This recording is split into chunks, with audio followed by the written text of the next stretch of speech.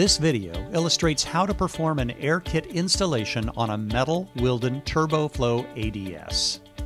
First, completely disassemble the ADS including glide rings, air valve gaskets, and screws. Be sure to follow all precautions listed in the pump's EOM or manual. Each new glide ring must be compressed using needle nose pliers so it will fit into the bore. While a glide ring is compressed by the pliers, insert it into a groove in the bore. Remove the pliers and push the glide ring back into an O shape to fill the groove. Do this with all seven glide rings. Put the air valve gasket on the outside of the center block. The gasket must be aligned correctly or the pump will not operate properly. Insert the four air valve screws and torque to specifications.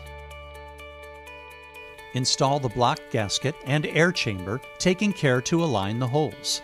Insert the three air chamber screws and hold them in place as you turn it over.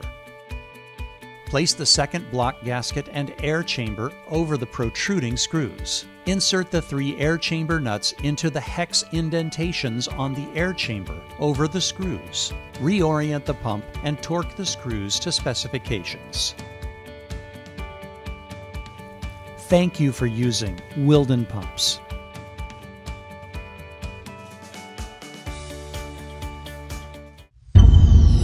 PSG, where innovation flows.